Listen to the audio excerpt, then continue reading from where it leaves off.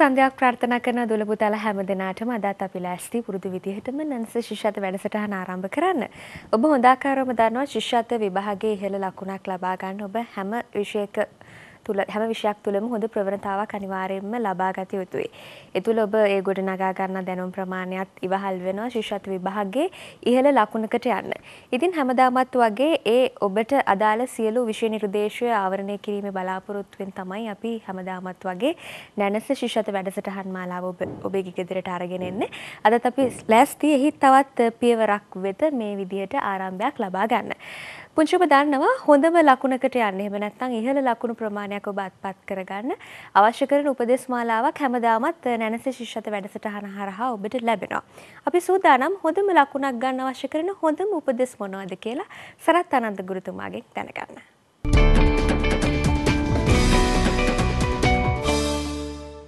ආයිබෝවන් දුවේ පුතේ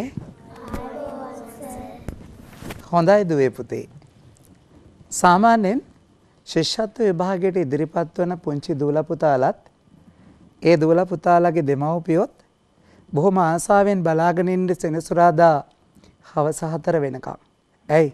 ශිෂ්‍යත්ව විභාගයට උවමනා කරන හරි දේවල් හරි විදිහට නැනසින් කියලා දෙනවා කියලා දන්න හින්දා. මේ අවුරුදු විතරක් නෙමෙයි දැන් අවුරුදු ගණනාවක් තිස්සේ මේ රටේ දෙමව්පියන්ගේ දූල පුතාලගේ ගුරුවරුන්ගේ ඇගීමට නැනස ලක්වන්නේ ශිෂ්‍යත්ව විභාගයට නිවැරදිම පාර කියලා දෙන ලංකාවේ තියෙන හොඳම වැඩසටහනක් හින්දා. දුවේ පුතේ අද මම පන්තියට එනකොට පොත් කීපයක් අරගෙන ආවා. බලන්න පුතාලට මේ පොත මතකද කියලා. මේ කී පන්තියේ පොතද? තුනේ පන්තියේ පොත. හොඳයි. මේ මොන පොතද? හතරේ පන්තියේ පොත. තාම ඔයාලට මුණ ගැහිලා නැහැ මේ පොත. හැබැයි පොතේ පිට කවරේ දිහා දැක්කම දන්නවා මේ කීයේ පන්තියේ පොතද? පහේ පන්තියේ සිංහල කියවීම පොත. කල්පනා කරනවා ඇති හැමෝම වගේ ඇයි අද නැනස පන්ති කාමරේට මේ පොත් තුනක් අරගෙන ඇවිල්ලා තියෙන්නේ කියලා. පොත් අරගෙන ඇවිල්ලා තියෙන්නේ පුතේ පොත් තියෙන්නේ මොකටද? කියවන්න පාඩම් කරන්න. නමුත් අපේ රට තුළ අවාසනාවන්ත තත්ත්වයක් තියෙනවා. ඒ තමයි දෙමව්පියෝ දරුවන්ට රජයෙන් ලැබෙන පොත් ටික කියවන්න පරිශීලනය කරන්න දෙන්නේ නැහැ. දෙමව්පියෝ රජයෙන් ලබා දෙන පොත්වලට වඩා වැඩි තැනක් ලබා දෙන්නේ කඩෙන් ගන්න පොත්වලට. එහෙම නැත්නම් පත්තර ලෑල්ලෙන් අරගෙන යන පත්තරවලට. දෙමව්පියෝ හිතනවා මේ පත්තරවල තමයි හොඳම දේ තියෙන්නේ. මේ කඩෙන් සල්ලි වලට ගන්න පොත්වල තමයි හොඳම දේ තියෙන්නේ කියලා. හැබැයි මතක තියාගන්න. ශිෂ්‍යත්ව විභාගේ ප්‍රශ්න පත්තරය සකස් කරනකොට ඒ ප්‍රශ්න පත්තරය සකස් කරන විද්වත් කණ්ඩායම ඔවුන්ගේ ප්‍රශ්න සකස් කිරීම සඳහා යොදාගන්නේ භාවිත කරන්නේ මෙන්න මේ රජයේ ලබල දෙන පොත් ටික. එහෙම නැතුව කඩවල තියෙන පත්තර ටික අරගෙන ඔවුන් ඔවුන්ගේ ප්‍රශ්න පත්තර සකස් කරන මේසයට යන්නේ නැහැ. ඔවුන් පත්තර ලෑලිවල තියෙන පත්තර ටික අරගෙන ඔවුන්ගේ ප්‍රශ්න පත්තර මේසයට අරගෙන යන්නේ නැහැ. ඔවුන් අරගෙන යන්නේ දරුවන්ට රජයෙන් නොමිලේ ලබලා දීලා තියෙන පොත් ටික විතරයි. එහෙනම් මගේ පුංචි පුතේ ඔයා වැඩිපුරම කියවන්න ඕනේ කඩෙන් සල්ලි වලට අරගෙන එන පොත්ද ඔයාට ඉස්කෝලෙන් ආණ්ඩුවෙන් නොමිල දීලා තියෙන පොත් ටිකද? කතා කරලා කියන්නකෝ. මොන පොත් ටිකද? ඔව් ඉස්කෝලෙන් නොමිල දීලා තියෙන පොත් ටික. දැන් පුතාලා මේ පොත් කියවනවද? හතරේ පන්තියේ සිංහල පොත පුතාලා කියවලද තියෙන්නේ? පළවෙනි පාඩමේ ඉඳලා අවසාන පාඩම වෙනකන් දන්නවද? ආයෙනම් මට කියන්නකෝ හතරවන ශ්‍රේණියේ සිංහල අච්චු පොතේ මුල්ම පාඩම මොකද්ද? සුන්දර ගම්මානයක් පුතේ ශිෂ්‍යත්ව විභාගෙට ලියපු අයියලා අක්කලා ඇවිල්ලා ගෙදර ඇවිල්ලා කියලා ඇති නංගි මේ සැරේ ඔන්න හතරේ පන්තියෙන් තමයි ශිෂ්‍යත්වෙට ඡේදය ආවේ කියලා. එහෙනම් පුංචි පුතේ ඡේද, කවි, විවිධ ප්‍රශ්න සියල්ලම අපට ලැබෙන්නේ රජයෙන් නොමිලේ ලබා දෙන පොත් ටිකෙන්. ඒ නිසා දෙමව්පියනි ඔබේ දරුවට හොඳින් කියවන්න දෙන්න. හොඳින් පරිශීලනය කරන්න දෙන්න රජයෙන් ලබල දෙන පෙළපොත් ටික. එහෙම පෙළපොත් කියවලා ඒවායි අභ්‍යාස කරලා ඒවට අදාළ පැවරුම් කරලා ඔබේ දරුවා දියුණුනොත් විතරයි ශිෂ්‍යත්වය භාගේ හරි ලකුණකට හොඳ ලකුණකට යන්න අවස්ථාව උදා වෙන්නේ. එහෙමනම් අද ඉඳලා වැඩේ පටන් ගන්න රජයෙන් නොමිලේ ලබා දෙන පොත් ටික ඔබේ දරුවට කියවන්න හුරු කරන්න. දුවේ පුතේ අපි අද ටිකක් වැඩිපුර ගණන් හැදුවොත් කොහොමද? ම්? අපේ දරුවාට දෙනා නම් ලෑස්ති අපි ආරාධනා කරමු සපුගේ සර් සමගින් උපාලි සර්ට අද ගණිතේ පාඩම වෙනුවෙන්.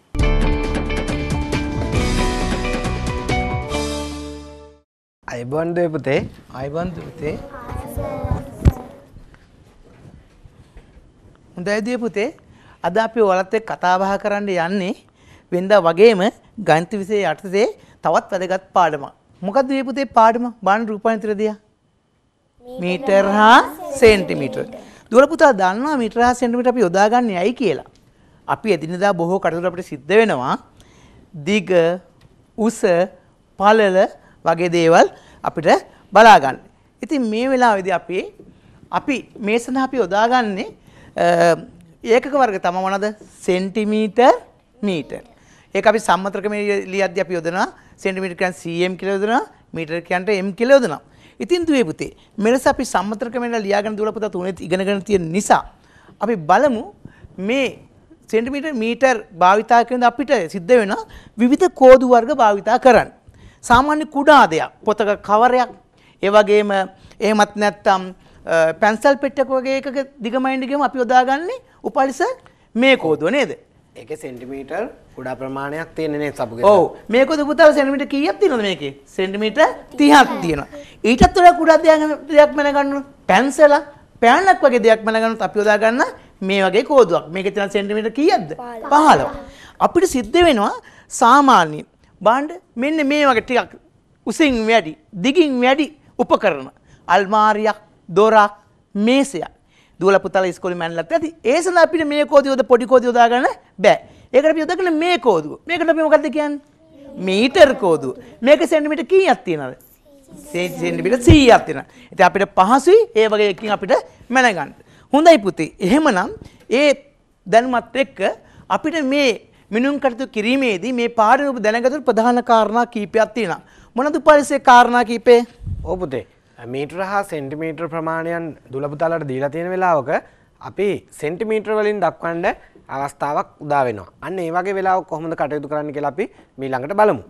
මේ බලන්න අ, මීටර් තුනක් තියෙනවා. සපුගේ සර් කිව්වා වගේම එක මීටරයක් තුල සෙන්ටිමීටර් කීයක් තියෙනවද පුතේ? 100ක් තියෙනවා. ඒ නිසා තමා 3m කියන මීටර් තුන අ, තුන ගුණ කිරීම 100 කියලා දාලා 300යි සෙන්ටිමීටර් කියලා අපි ලියලා තියෙන්නේ. ඒ වගේම තමා මීටර් පහක් කියන එක සෙන්ටිමීටර් 500යි තව සෙන්ටිමීටර් 75ක් තියෙනවා. ඒ දෙකම එකතු වුණාම දූල පුතාලට සෙන්ටිමීටර් 575යි කියලා අපිට ඉදිරිපත් කරන්න පුළුවන්. මම හිතන්නේ උපාලිස දුවල පුතාට කියලා දුන්නා එහෙනම් යම්කිසි මීටර් ප්‍රමාණයක් දුන්නොත් කොහොමද සෙන්ටිමීටර් කරන්න කියලා. හොඳයි ඒ කිව්ව කාරණා දුවල පුතාලා මම හිතන්නේ අවබෝධ කරගත්තද කියලා බලන්න අපි පුංචි ප්‍රශ්න දෙකක් දුවල පුතාලා ඉදිරිපත් කරලා තියෙනවා. බලන්න උපාලිස අපි අහමු දරුවෙක්ගෙන්. ඔව් පුතේ මේ පළවෙනි ප්‍රශ්නේ තියෙන මීටර් 7යි සෙන්ටිමීටර් 50 කියන එක සෙන්ටිමීටර් වලටම පත් කරොත් අපි කීයක් වේද සෙන්ටිමීටර්? ඔව් සෙන්ටිමීටර් 750ක් වෙයි නේද? ඔව් පුතාලගේ උත්තරේ නිවැරදි. ඒ වගේම දෙවෙනි ප්‍රශ්නයට පිළිතුර අපි කොහොමද ලියන්නේ? සෙන්ටිමීටර් 85ක් තියෙනවා මීටර් 12ක් තියෙනවා. දැන් මීටර් 12 තුල 100ඒව 12ක් නේද? 100ඒව 12ක් කීයද පුතේ? 1200යි. තව 85කුත් තියෙනවනේ. එතකොට කීයද? 1285යි. අපි මතක තියාගන්න ඕන 100ෙන් ගුණ කරලා ගන්න නේ සබ්ගෙස. ඔව්. ඔන්න දුවල පුතාලා තියෙනවා මේ සෙන්ටිමීටර් ප්‍රමාණය මීටර හා සෙන්ටිමීටර් වලින් දැක්වීමේදී ඒව අපිට තියෙන පුතාලා මේ අපිට මීටර් සෙන්ටිමීටර් වෙන් කරන්නක් තියෙනවා. ඒ කියන්නේ සෙන්ටිමීටර් ප්‍රමාණයක් දුන්නොත් කොහොමද සෙන්ටිමීටර් මීටර් අපි වෙන් කරගන්නේ කියලා. අපි ඒ සඳහා කරන්නේ ඉස්සර දුවල පුතාලා කරේ මොකද්ද? මීටර් සෙන්ටිමීටර් කන්න ගුණ කරා 100. ඒකේ හැබැයි අනිත් පැත්ත පුතේ. දැන් අපිට දෙන සෙන්ටිමීටර් ඒව මීටර් කරන අපි මොකද කරන්නේ? බෙදනවා 100 නේද? හොඳයි. අපි එහෙම බෙදපුවාම පුතාලට බලන්න අපි සෙන්ටිමීටර් 285ක් තියෙනවා. අපි දැන් ඒක බෙදනවා. ඔන්න 100 බෙදන බලන්න පුතේ. අන්න 280 පරිසීව දෙකයි. ඊට පස්සේ අපි ඒක අඩු කරා. අන්න ආව අපිට මීටර දෙකයි සෙන්ටිමීටර් 85යි. උපනිස අපි ගත්ත දැනුමත් එක්ක දරුවන්ගේ ආමු වණ්ඩ මේ ගණන් දෙකක් අපි ඉදිරිපත් කළා. පුතේ සෙන්ටිමීටර් 890ක් තියෙනවා. මේකේ කීයද මීටර් කීයද සෙන්ටිමීටර්? කවුද දන්නේ? ඔව් මීටර් කීයද පුතේ? ආ මීටර් 8යි. ඒ කියන්නේ 100 ඒවා 8යිනේ නේද? අපි දන්නවනේ. දැන් මීටර එකට 100යි කියලා සෙන්ටිමීටර්. එහෙනම් මීටර් 8යි සෙන්ටිමීටර් කීයද? 90යි. දෙවෙනි ප්‍රශ්නේ අපි දන්නවා 100 ඒවා එතනින් එහාට තියෙන ඒවා ඔක්කොම ටික මොනවද? මීටර්. ඒ කියන්නේ මීටර් කොච්චරද මෙතන? මීටර් 13යි නේද? මීටර් 13යි සෙන්ටිමීටර් කීයද? 45යි. දුවල පුතාලා ඒක තාම පහසු ක්‍රමයක් තියෙන මීටර හා සෙන්ටිමීටර තවත් පුතාලට මතක තියාගන්න කාරණා වෙන් කරගන්න. පුතේ අපි දන්නවා 100ට අඩු නම් එතන මීටර එකක් නැහැ. නිසා ඕනම සෙන්ටිමීටර ගානක ඔය පුතාලා 10 ස්ථානෙන් එහාට ගන්න සෙන්ටිමීටර් 10 ස්ථාන ඉදිරියේ තියෙන ඕන ප්‍රමාණයක් අපි ගන්න මීටර කියලා. හොඳයි. දුවල පුතාලා පේනවා ඔබ දුවල පුතාලගේ උත්තර නිවැරදිත් එක්කම අපිට තියෙන මේ ගණන් දෙක හදන්න උපයස අපි දුවල පුතා. කාලෙත් එක ගානක් හදමු. මීටර් හා සෙන්ටිමීටර් ප්‍රමාණය එකතු කරන්න තියෙනවා පුතේ. අපි හිතමු මොනවා හරි දෙයක දිග සෙන්ටිමීටර් මීටර් 6ක් සහ සෙන්ටිමීටර් 70ක් තියෙනවා. තවත් දෙයක දිග මීටර් 3යි සෙන්ටිමීටර් 25ක් තියෙනවා. දැන් පුතේ අපිට මේ දෙකම එකතු කරගන්න අපි සරල එකතු කිරීම වගේම ඔන්න එකතු කරාම 0.5යි 5යි 7යි 2යි 9යි නේද? 6යි 3යි 9යි. ඒ වගේම තමයි පුතේ දෙවැනි ගානේ බලන්න සෙන්ටිමීටර් පැත්තේ තියෙන ප්‍රමාණයක් මීටර් පැත්තට අරන් යන්නත් වෙනවා අපිට. බලන්න 4යි 3යි 7යි. 8යි 7යි කීයද? 15යි නේද? අපි සෙන්ටිමීටර් පැත්තේ ලියනවාද 157 කියලා? නෑ මොකද මීටර් අපිට ඉන්නවනේ ඉදිරියෙන්. ඒ නිසා අපි මොකද කරන්නේ? අර මීටර් එක ප්‍රමාණය එහා පැත්තට මීටර් පැත්තට අරන් යනවා නේද? එතකොට අපිට පුළුවන් 6යි 5යි 11යි ඒ විදිහට සටහන් කරලා පිළිතුර ලබා ගන්න. හොඳයි පුතේ. එහෙමනම් ඒ ඔබ ගත දැනුමත් එක්ක ඔබට සිද්ධ වෙනවා විභාගෙදී. මේ වගේ වගන්ති ගානක් හදන්න. ඒ නිසා අපි දුවලා පුතාලත් එක්ක සාකච්ඡා කරනවා. අපි ඔක්කොම එක සාකච්ඡා කළාම හදමු. අපිට කාලයක් තියෙන අ, පුතේ බලන්න. මීටර 2යි සෙන්ටිමීටර 4 දිග කම්බි කෑල්ලකට මීටර 3යි සෙන්ටිමීටර 60ක් දිග කම්බි කෑල්ලක් පාස් වෙනවලු ඒකට තවත් කෑල්ලක් සම්බන්ධ කරනවා. සම්බන්ධ කරනවා කියන අපි දිග දෙකක් එකතු කරලා තියෙනවා. ඉතින් අර ඔබ මීට පෙර ඉගෙන ගත මූලික දැනුමත් එක්ක අපි දැන් එකතු කරලා තියෙනවා. බලන්න පළවෙනි කම්බි කෑල් දෙක මීටර 2 සෙන්ටිමීටර 40යි. අනෙක් කම්බි කෑල් දෙක මීටර 3 සෙන්ටිමීටර 60යි. ඒ දෙකම එකතු කරපුවාම අපිට උත්තර එනවා මීටර් 6යි සෙන්ටිමීටර් නැහැ. අපි බලමු ඊනකට තවත් අ, දුවල පුතාට අඩු කිරීම තියෙන අපිට ඉගෙන ගන්න උපාලිස. ඔව් දැන් දුල පුතාලා සාමාන්‍ය අඩු කිරීමේදී වගේම තමා ඔන්න බලන්න සෙන්ටිමීටර් මීටර් අඩු කරන්නෙත් ඒ විදිහටමයි. 9න් බිඳුවක් 9යි 6න් 9ක් බැරි නිසා අපි පුතේ මොකද කරන්නේ? මීටර් පැත්තෙන් එකක් ගේනවා. එතකොට 16න් 9ක් කීයද? කීයද පුතේ 16න් 9ක් ඔව්. 7යි එතකොට අතන ඉතුරු වෙන්නේ කීයද? 13යිනේ 13න් 7ක් 6යි නේද? ඔන්න ඔය ආකාරයට අපිට මීටර හා සෙන්ටිමීටර් සාමාන්‍ය ආකාරයටම අඩු කරගන්න පුළුවන්. සපුගේ සර්. ඔව්. අපි මීළඟට කතා කරන්න බලාපොරොත්තු වෙනවා.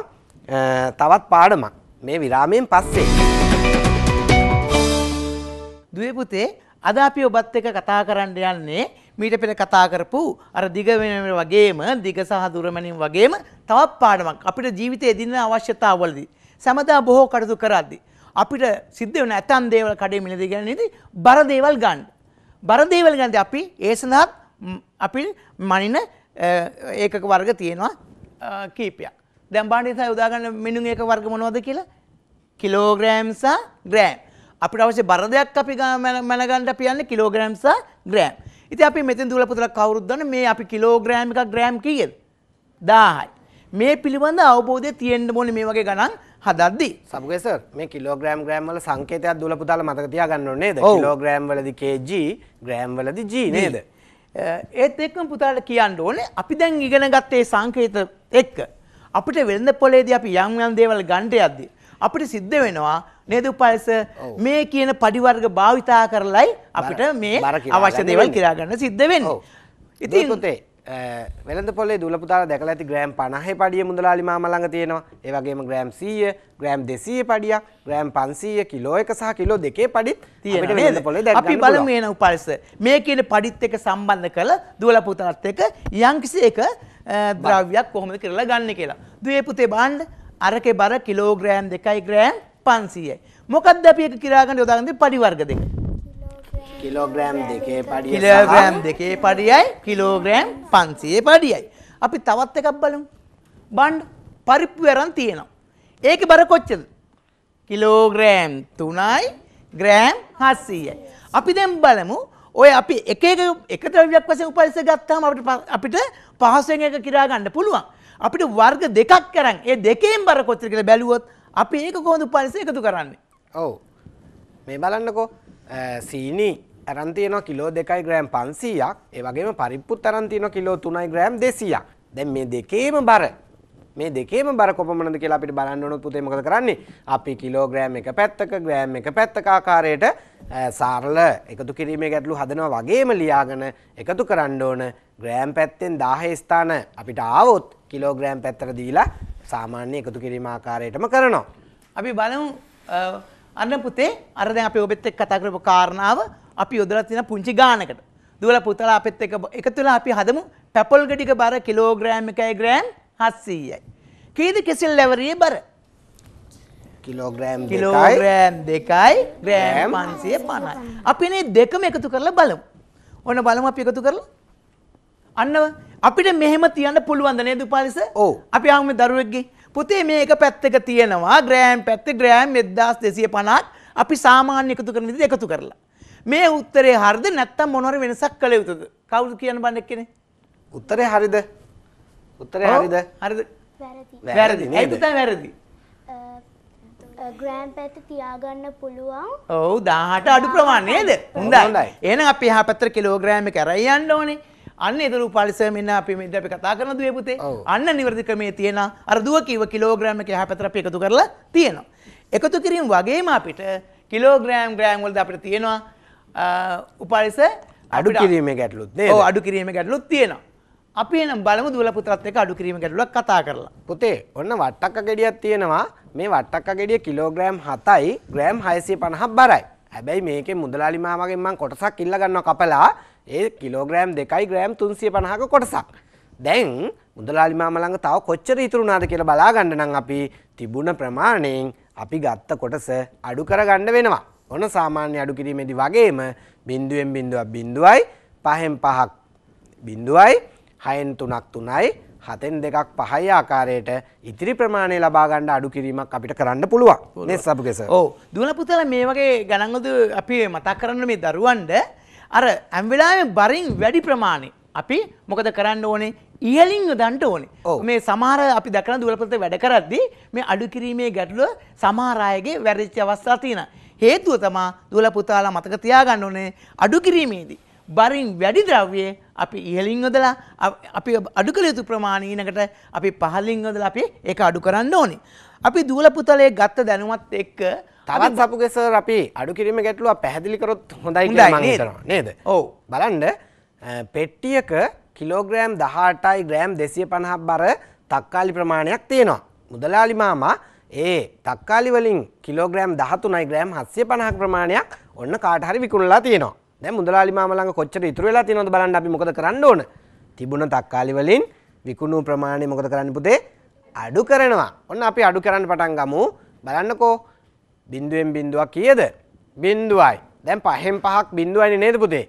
දැන් දෙකෙන් හතක් අඩු කරන්න පුළුවන්ද? මොකද කරන්න අපි? එයා කිලෝග්‍රෑම් පැත්තෙන්? එකක් ගන්න කිලෝග්‍රෑම් පැත්ත එකක් ගන්නවා. නේද? එතකොට ග්‍රෑම් පැත්තේ කොච්චරක් වෙනවද? එක්දස් දෙසිය පණහයි නේද? සියස්ථානය නම් දොලා තියෙනවා. දොලාහෙන් හතක් කියද පුතේ පහයි. දැන් කිලෝග්‍රෑම් පැත්තේ දහටක්ම තියෙනවද? නෑ නේද? නෑ. දාහතයි නේද? දාහතෙන් දාතුනක් ගයාම කිලෝග්‍රෑම් හතරයි ග්‍රෑම් පන්සීය. හොඳයි පුතේ එහෙමනම් අපි තවත් දවසක මේ වගේ වැදගත් ගණිත පාඩුවමක් අපි සාකච්ඡා බලාපොරොත්තුෙන් අදින් අපි සමුගනු.